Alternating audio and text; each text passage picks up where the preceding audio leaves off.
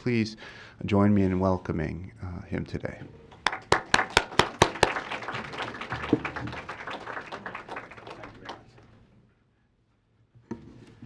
Good afternoon, and uh, thank you for a very kind introduction, and uh, and uh, thank you very much for preparing uh, this absolutely wonderful weather. and uh, to be frank, I I've started to feel kind of homesick for snow since I spent uh, not only several times in Moscow, but I was born and grew up in a little tiny, very snowy cold town, which is called Fukui. So thank you very much.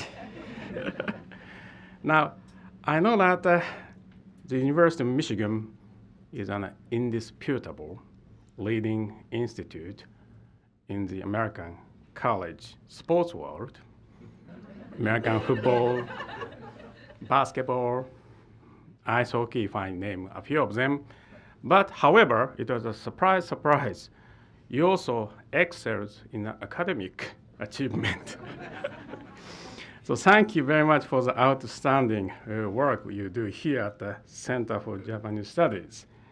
Over the years, JCS is a strong supporter of our mission to advance U.S.-Japan relations as well as Michigan-Japan relations. So as Consul General of Japan, I deeply appreciate your efforts. And also my uh, thanks goes to all of you who, uh, who braved to come to this lecture uh, because of this weather.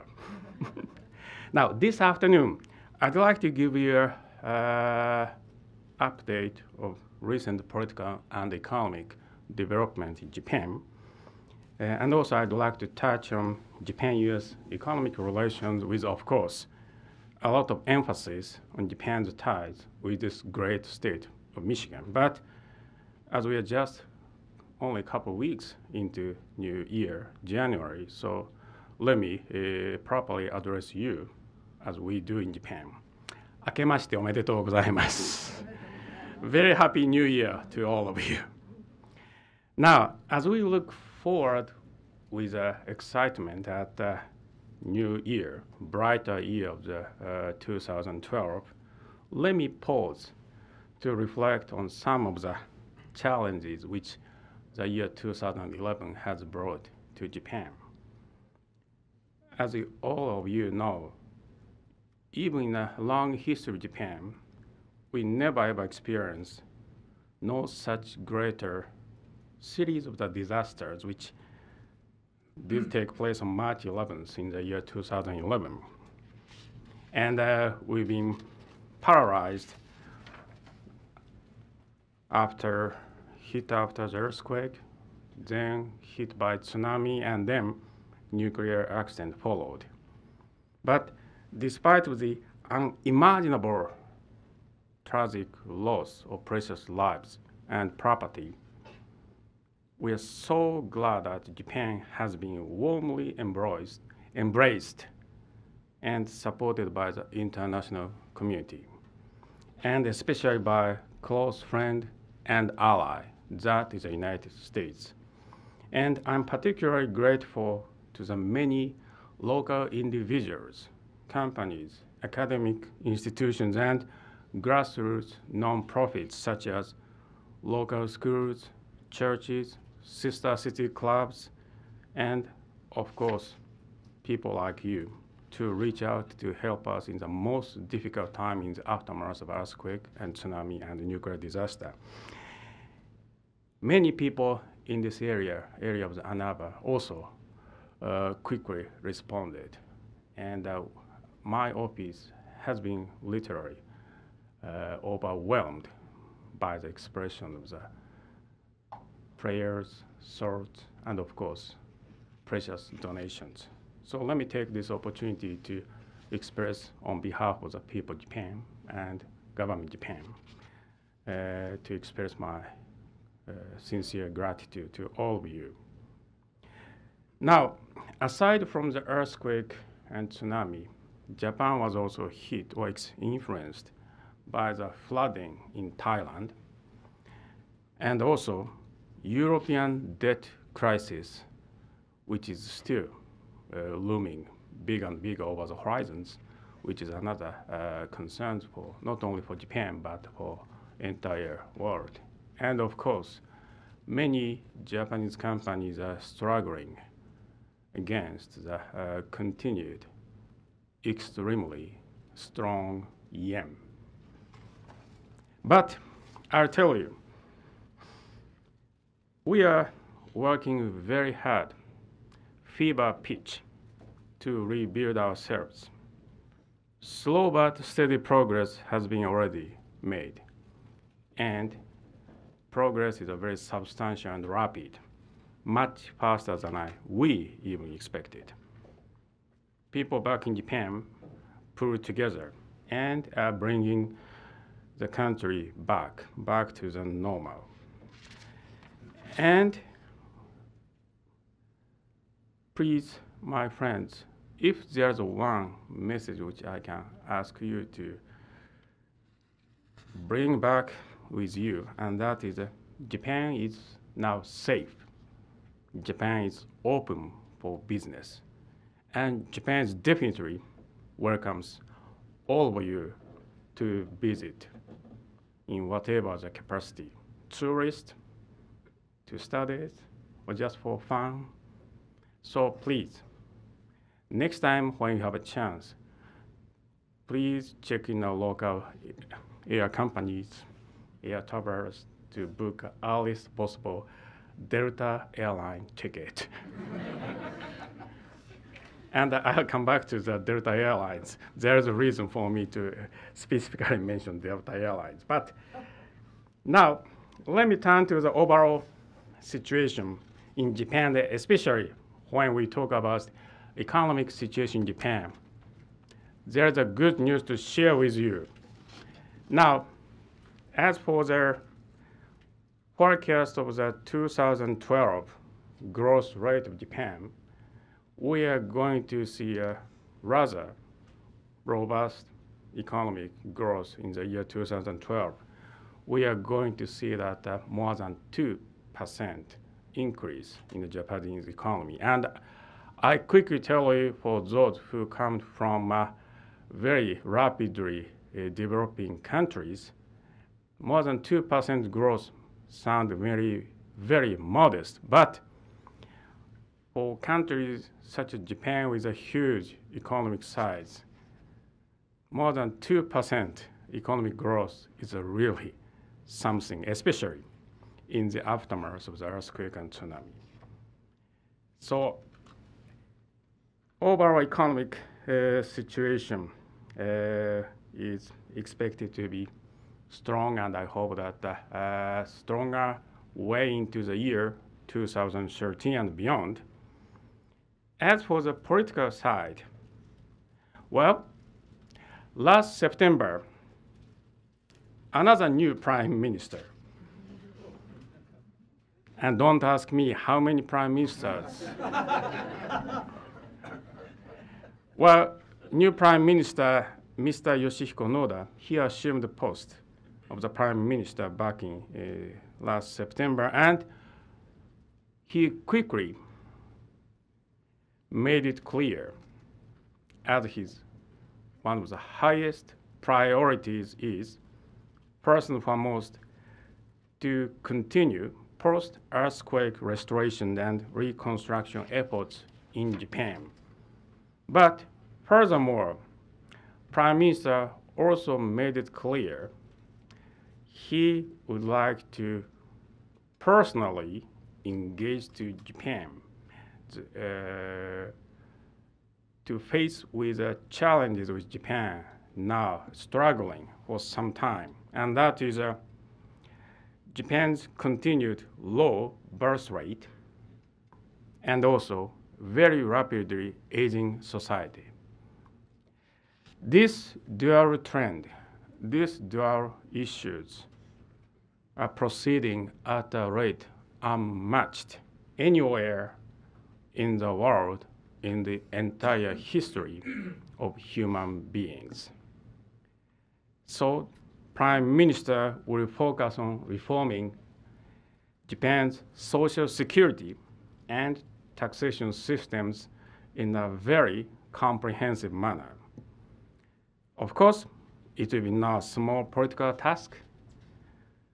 So just this past week, Prime Minister reshuffled his cabinet and bring in stronger political allies within his cabinet so that he is better positioned to forge ahead with a daunting task of bringing in a national sales tax increase to deal with a budget crunch. Now, while Japan's government and governmental leaders, including prime minister, are tackling these tough domestic economic issues, on the diplomatic and security front, Japan will continue to be very much engaged. First, Japan will continue to provide necessary economic and political assistance to support to other countries that have also suffered natural disasters, such as Thailand and Turkey. We also a staunch supporter of developing reform and democratization in the Middle East and North Africa. We're ready to provide with ODA, Official Development Economic Aid, of approximately more than $1 billion in the new year for helping uh, newly revelated Middle Eastern countries. We also decided to dispatch self-defense forces peacekeeping, operations contingent to South Sudan. And as for the Asia, together with the United States, as well as other allies and friends, Japan will continue to pay close attention to the rather precarious transition period of leadership in countries such as North Korea and China. And as for the global economic theme, we are ready and willing to continue to be fully engaged and interconnected in a global economy and especially in the Asia Pacific region. To that end, Prime Minister Noda while he met with President Obama last November in Honolulu on the margin of the APEC summit meeting, Prime Minister stated unequivocally his desire to join preliminary discussions on Japan's inclusion or participation in the multilateral free trade negotiations of the Trans-Pacific Partnership Agreement, known as TPP.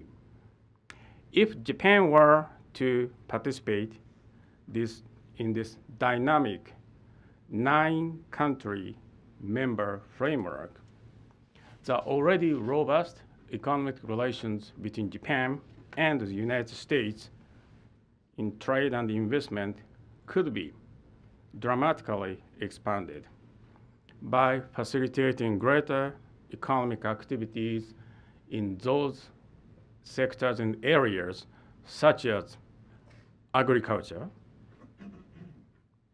including a more increased import of the agricultural produce from the United States as well as the member countries.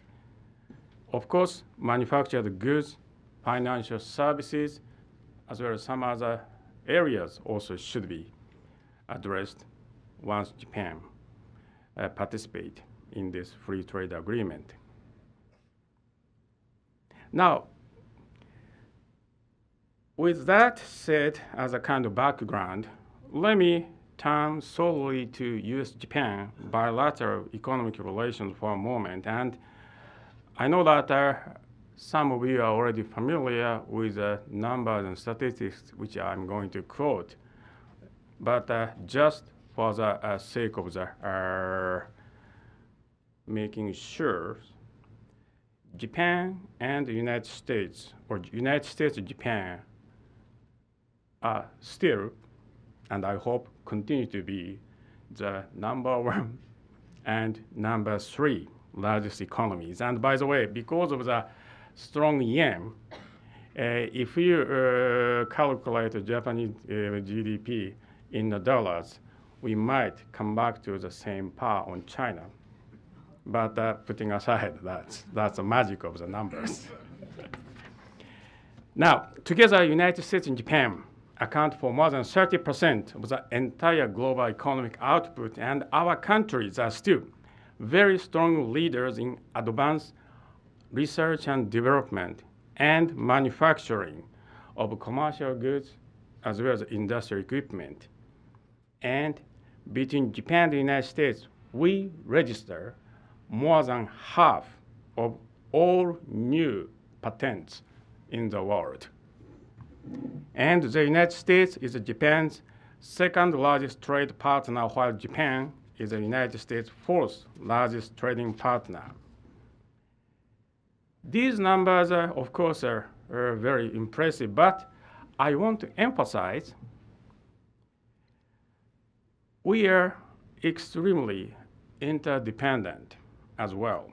And our interdependence is evidenced by the volume of not only goods and services that flow between us, but the number of the businesses we establish in each other's countries, the amount of each other's stock we purchase and hold, and of course, vast number of the flow of the people, tourists, students like you, researchers and teachers like you, and of course, some of them are uh, permanent visitors or permanent residents, while uh, some of them are short visitors. But the point is, we are continue to witness the ever increasing number of the flow of the people, and together, flow of the very important commodity,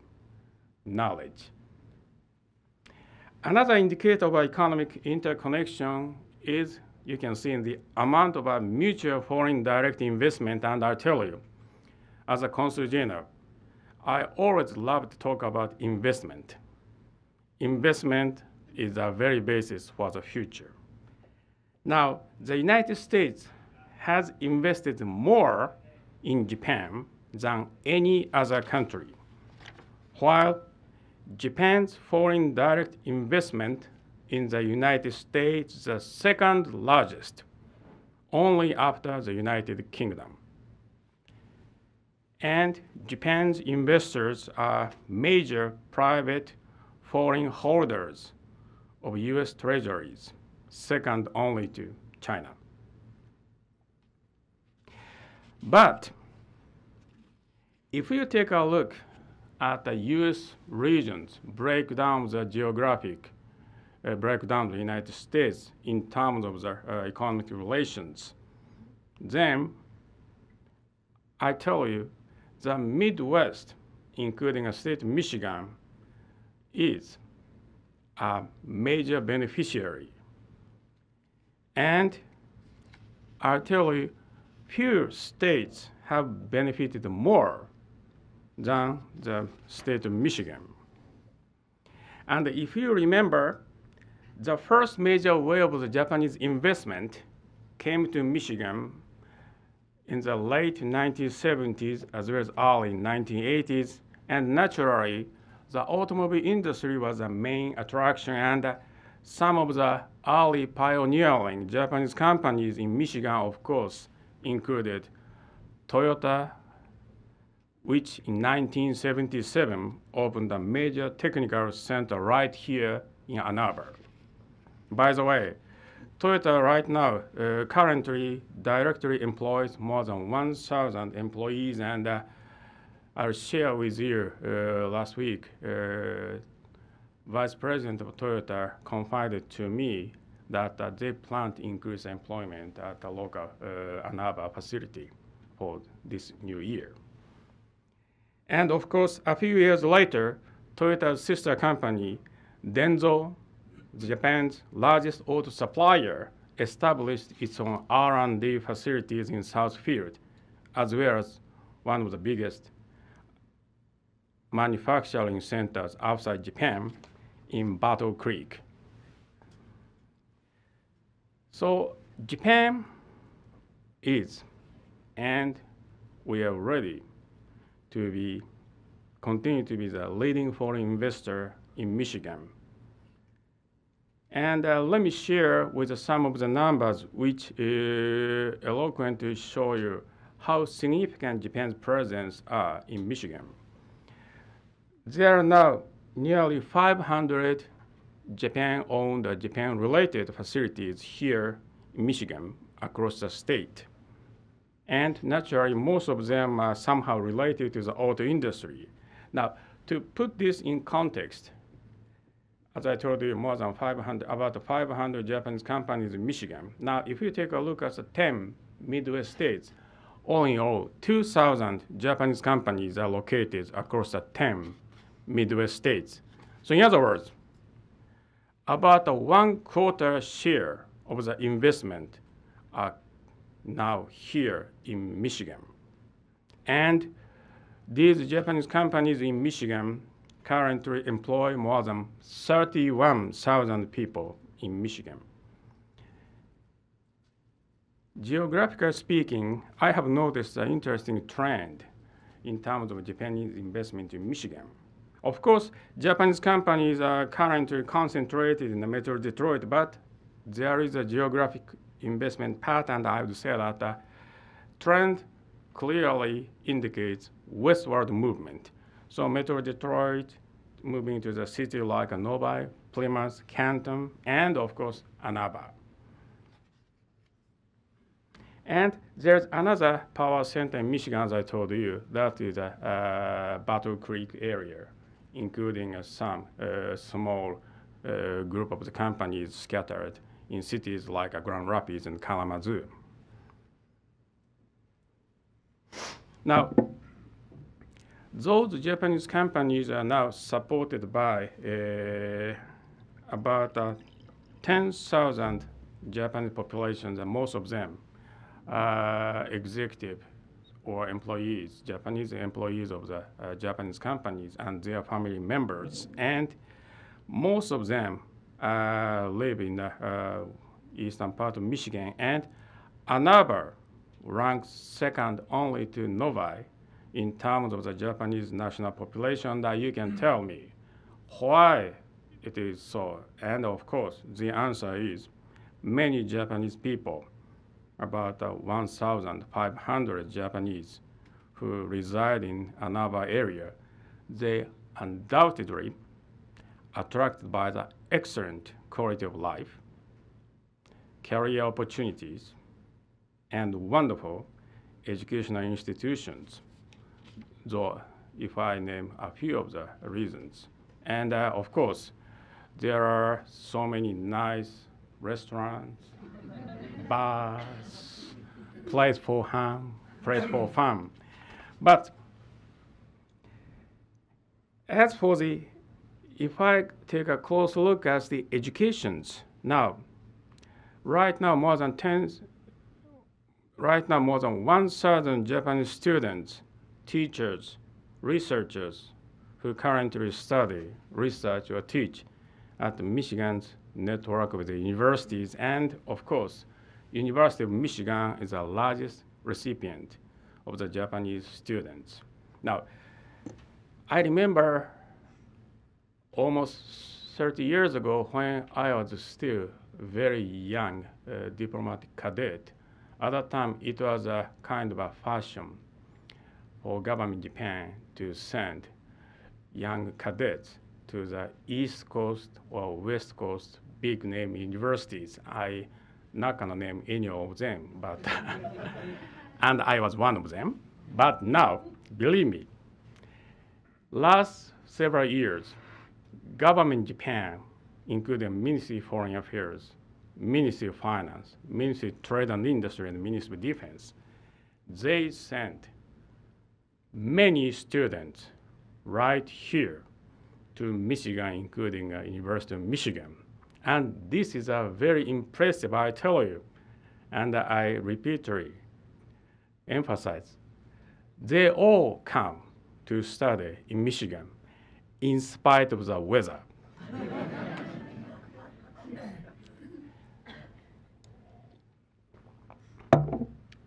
now,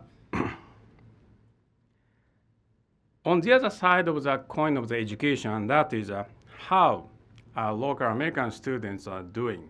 And of course, they are doing quite well or sometimes much better than their Japanese counterparts. They continue to be keenly interested in uh, studying Japanese language, which is not easy to learn, and Japanese cultures, which is also no less easy. There are now more than 2,000 students enrolled in 16 Michigan colleges and universities who study, who are willing to study. Well, I don't know who are forced to study, whatever the reasons. More than 2,000 American students every day study Japanese languages and Japanese cultures, and I really appreciate for those young, talented kids who otherwise might be attracted by something else like playing games or playing football or playing basketball. But I'll tell you, studying Japanese will reward you later if you are a little bit patient enough and stick around for some time. and there are some of the faculty members who agree with me. Now, out of the 2,000, more than 2,000, believe me, U of M is, uh, of course, top this list with uh, more than 400 Japanese language students enrolled.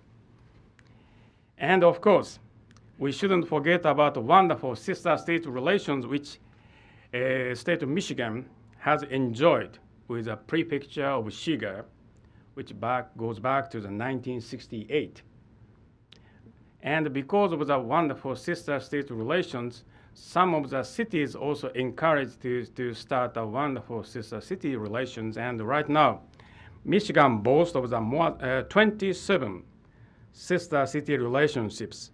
This is by far the most, not only in the Midwest, but entire United States. No other state enjoys such a closely knit sister city grassroots relations but Michigan. And of course, Ann Arbor enjoys such a wonderful relations with Hikone City. And because of these relations, over the years, so many American students and Japanese students, they uh, mutually visit. And by the way, of course, the city of Hikone of also home to the Japan Center from Michigan universities, and I hope that some of you uh, already visited this wonderful center, which is located on the uh, bank of the beautiful Lake Biwa. And for those who have not yet uh, visited, I strongly recommend right after my speech, check with your teachers how to apply for JCMU. And JCMU's three weeks gives you almost three year experience, including a fun of studying Japanese. So believe me, and sometimes uh, young people, you better believe someone like me, older people. So.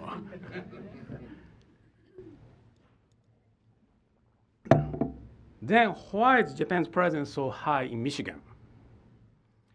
Of course, Michigan is well known across the world for its rich engineering talent, the strong, very strong work ethic of its labor force, and of course, well-deserved reputation as the epicenter of the automobile industry, especially with a focus on research and development.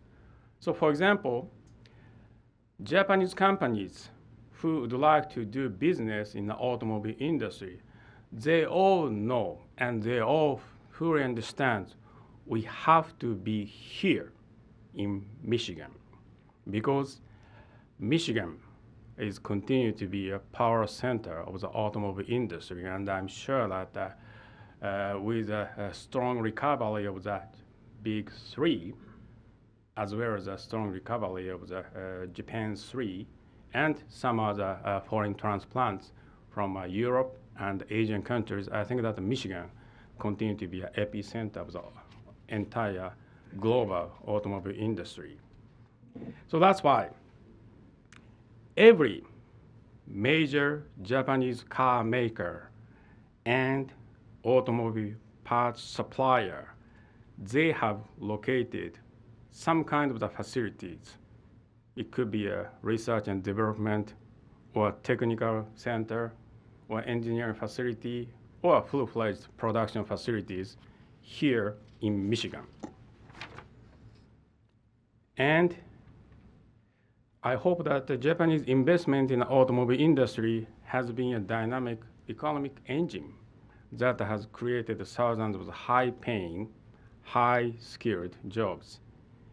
And as I told you in uh, a little bit before, when we consider the strong yen and also very necessity of Japan's companies to balance their global strategy, I think that it makes perfect sense for them to continue to expand here in Michigan.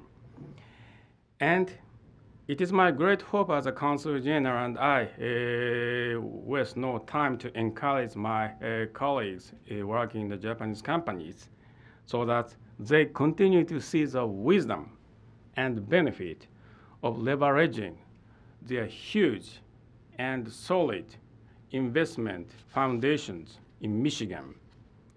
And this, I think, not only helps the companies themselves to grow and prosper, but this also boosts the local, state, and U.S. economies.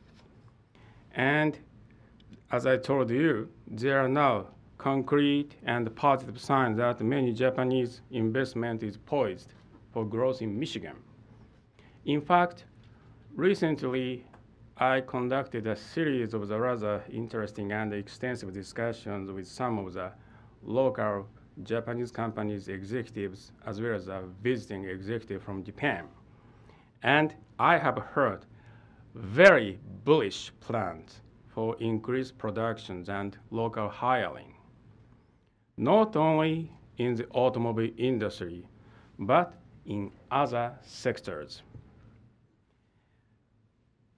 By the way, I was just down at the North American International Auto Show in Detroit last week.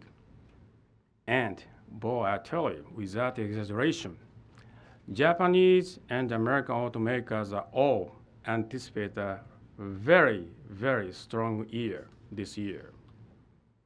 And while the rebound in the auto sector is, of course, indeed a welcome news because the automobile industry with a huge and multi-layer uh, industrial uh, structure, I believe that automobile industry continued to set the pace for the economic growth and lead the rest of the economy.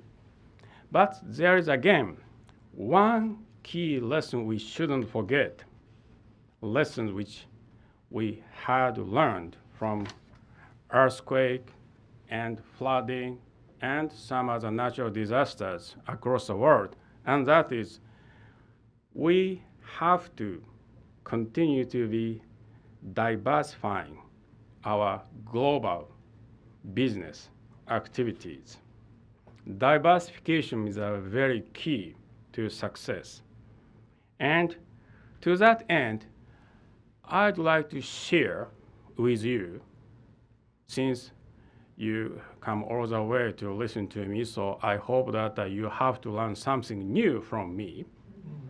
So I'd like to share with you some of the targeted industrial areas where my office, as well as my partners in the Japanese and American business sectors now working on there are four areas where I do believe Michigan-Japan economic relations could be or should be expanded and diversified.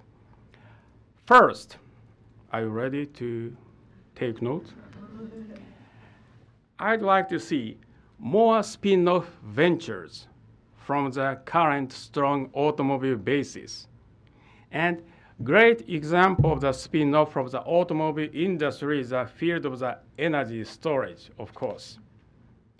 Now, there is a now great momentum underway between our companies with American partners in the development of the lithium ion as well as some other kind of the batteries with exciting applications, of course, in and beyond the automobile industry. Besides the battery sector, another very interesting spin-off, the trend which I have noticed, and that is the auto industry and auto parts industries. They try to transfer their expertise into medical device industries. And there is a reason.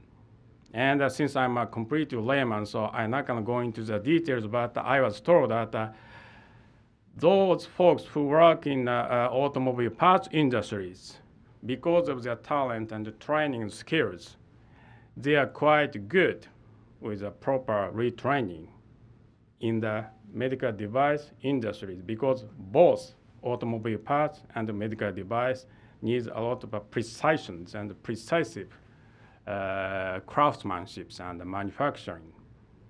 Now, right here at your backyard in Ann Arbor, a company by the name of IMRA, 20 years ago, it was a spun off from a local Japanese auto supplier, and now IMRA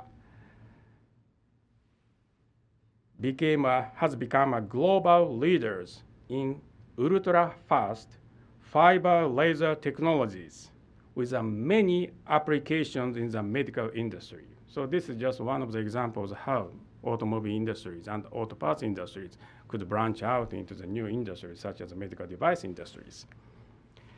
And there's another area where I can see exciting spin-offs, and that is, of course, composite material. Traditional materials such as plastics, metals, carbons, you name it, they are now being transferred into cutting edge composites and their applications. And as a result, traditional products, of course, including automobile, airplanes, homeland security equipment devices, just about everything produced, they are becoming lighter stronger and more efficient and much easier to use. And I'd like to emphasize, they can be more eco-friendly. Now, as you might be familiar, there are quite a few Japanese companies which excel in the field of the advanced composites, and thus they are becoming increasingly integrated partners with uh, American industrial leaders. For example, excuse me, just last month, a new joint venture was announced between General Motors and Japan's leading carbon fiber producer named Teijin to produce lightweight oat composites for the mass market. Now, they have not yet announced where they're going to open their new facility. And believe me, I am working very hard. and uh, you know, I not shy away from even uh, twisting their arms to bring them come to Michigan. Now, second area where we can deepen economic ties involves, of course, uh, it's much relevant to you guys, technology and intellectual property transfers between public sectors, including uh, academic, to the marketplace. And I feel that there could be even greater synergies, or should be much, much robust synergy effect between Japanese companies and their local American academic partners, entrepreneurs, and even the individual researchers. For example,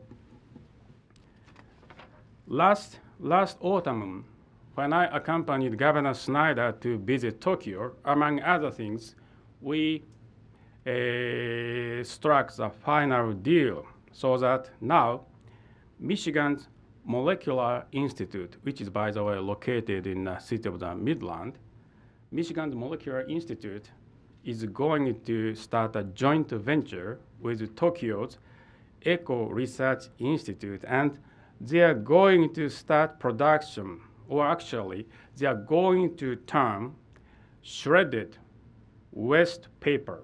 And by the way, you have abundant of the shredded waste paper in uh, uh, classrooms and academic institutes and uh, government offices. So they are going to start a production so that they can turn shredded waste paper into a stronger and more eco-friendly paper plastic composites.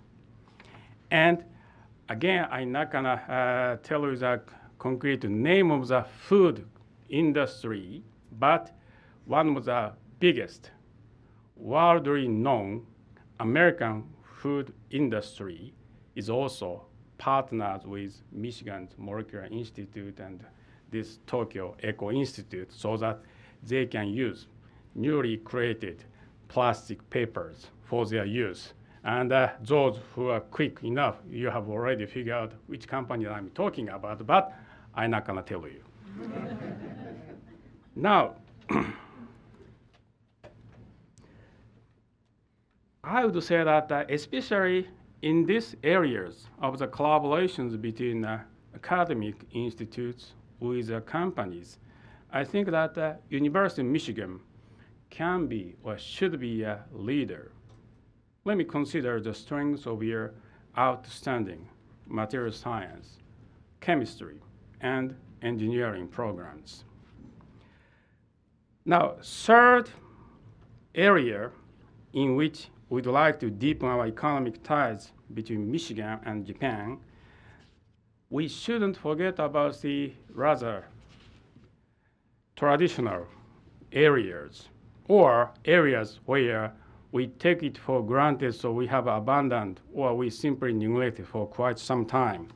I'm talking about industries or areas such as agriculture and food processing and water related business. And of course, Michigan still carries the name of the Great Lakes state.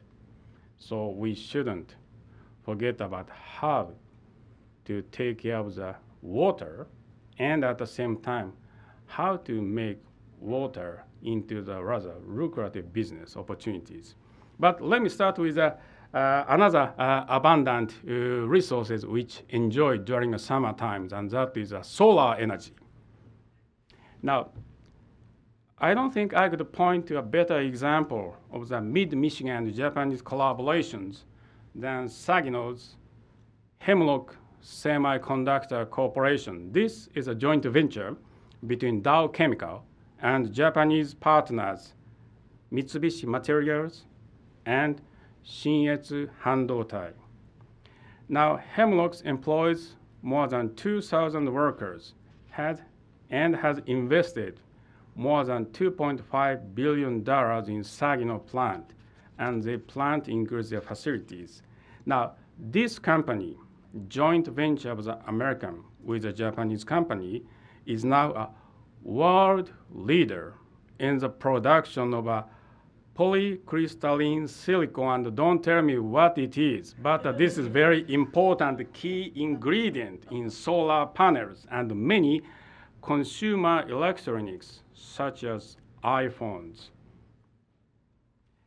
This facility is a wonderful example of our companies working together for a cleaner and greener future. And of course, as I told you, Michigan is a state of Great Lakes. So Michigan could and should be a leading state when it comes to the water management and the water technologies. And don't forget, Michigan has a wonderful sister state relations with Shiga Prefecture, which, by the way, is a home to the biggest, by Japanese standard, lake, Lake Biwa. so I would say that uh, Michigan and Shiga Prefecture are just a natural match for leading a water business and water management. And uh, I'm glad that this week uh, my office had uh, another uh, joint project with your rival university, Michigan State University. We just finished with uh, one of the wonderful seminars about water management. And uh, we brought a leading professor from Shiga University to come to visit. And I'm sorry I didn't turn to the University of Michigan, but uh, as a consul general, I have to keep a balance. So I try to be nice to everybody, like a typical Japanese diplomat. But anyway, so water, water is very important. And with water, with water, what comes? What comes? Come on. Of course, nice, healthy food. This is agriculture and food processing.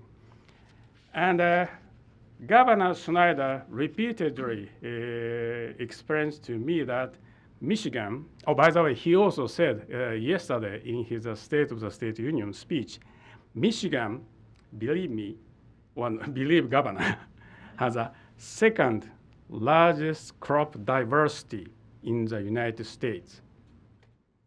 So, Governor Snyder has set a goal to double Michigan's agriculture exports in the next five years. And let me consider where Japan and Japanese companies of any relevant in this agriculture business. And I soon realized that uh, with uh, advanced technologies and investment, as well as, uh, as I told you, aging populations and uh, very uh, health oriented consumers back in Japan, for example, Michigan's abundant blueberries, cherry, apple, cranberries, and uh, you name it, those agricultural produce can be a great materials for the food processing industries.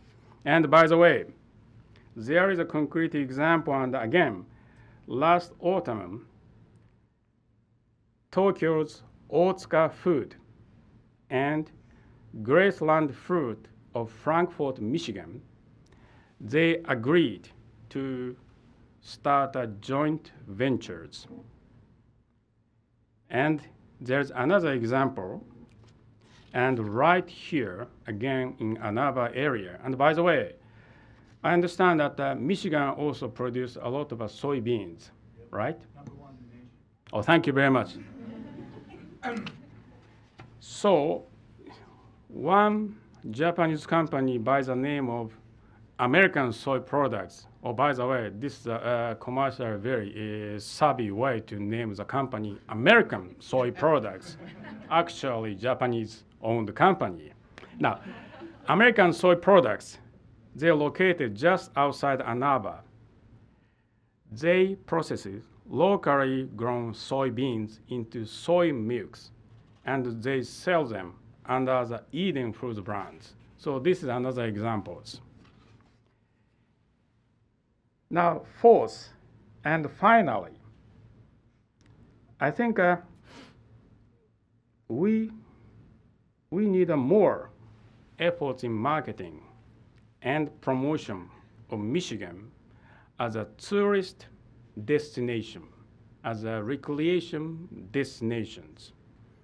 And I'm telling you, not because my elder son, he just graduated from university and he started to work for the biggest Japanese travel company. I'm not talking because of my sons, but still I believe tourism, travel industry is one of the most or fastest growing industries entire world. And by the way, every year, so many Japanese tourists, they love to fly to Alaska or Canada, but not Michigan.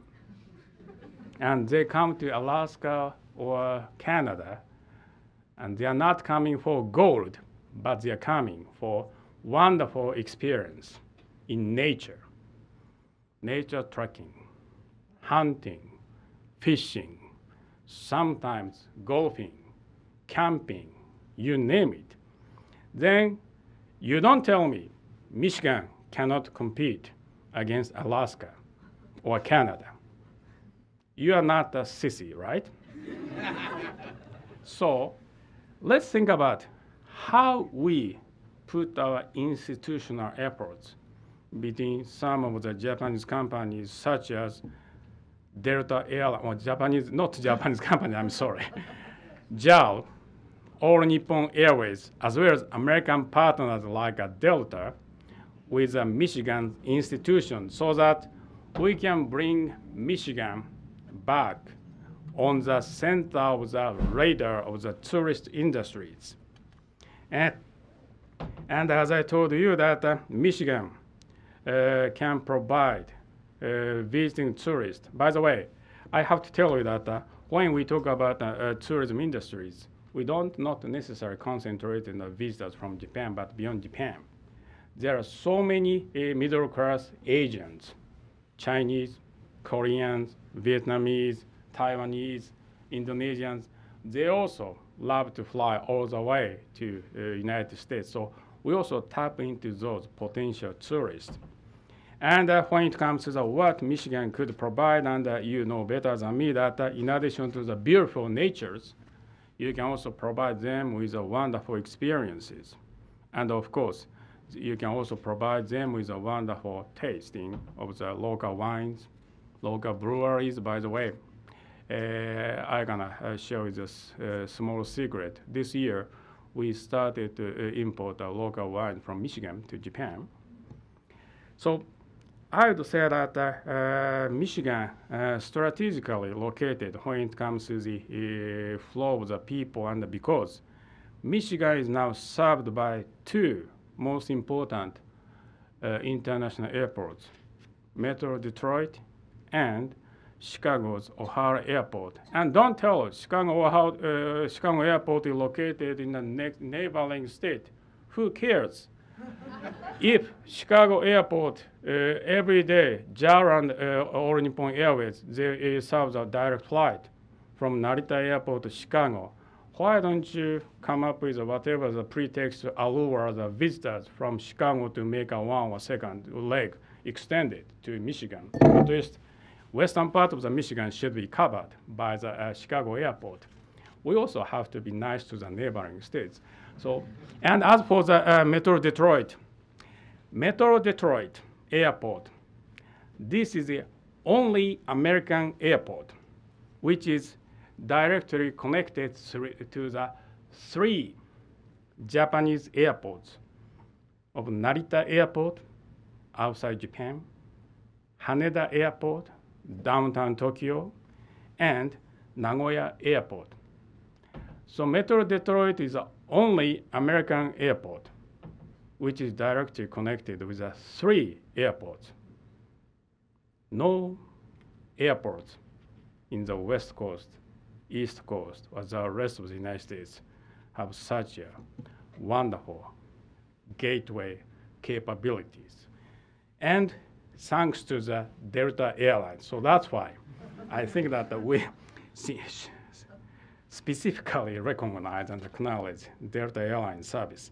Now, I have outlined, I'm sorry, I have taken too much time. I have outlined four areas in which our economic relations can expand, but let me briefly touch upon how to uh, materialize or realize those areas into the more uh, concrete ways. And uh, as I told you, the reason why many Japanese companies they decide to uh, locate here in Michigan, and uh, first and foremost, because of the availability of the educated and the skilled workforce here in Michigan.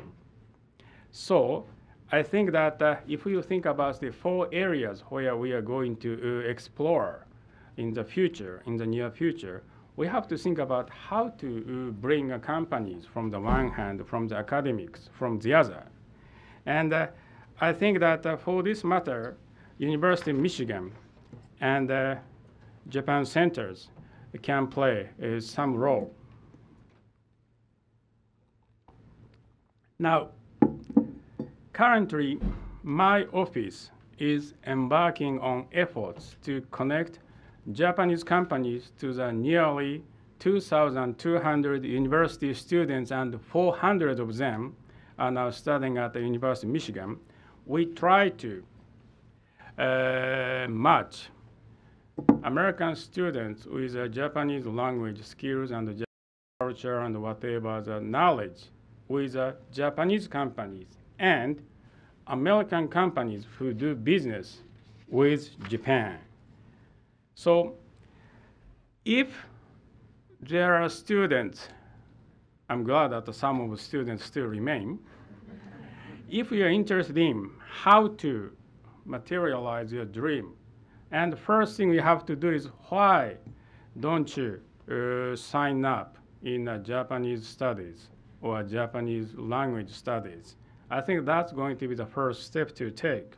And of course, you also consider apply for the studying in Japan uh, through the framework of the Japan Center for Michigan University program. And the University of Michigan is one of the most active member of the JCMU. And I also ask uh, those uh, students who happen to study Japanese or who happen to be exposed to the Japan culture, think about for your future opportunities, apply for the JET program. JET, by the way, stands for the Japan Exchange Teaching. And by this program, uh, you'll be uh, provided uh, with the opportunity of the work in Japan, either as an assistant English teachers or international coordinators, two years, or with an extended uh, possibility of the extension. And as I told you, for those who are returning from Japan, or for those who continue to study here in Michigan, as I told you, we try to come up with a job matching opportunities. So what I try to tell you is what I told in the very beginning. Studying foreign language is not easy. And I know, I know by heart, it was grueling and most miserable uh, experience for me while I was put in uh, DLI, Defense Language Institute. And you know, I was, I was not lucky as you are.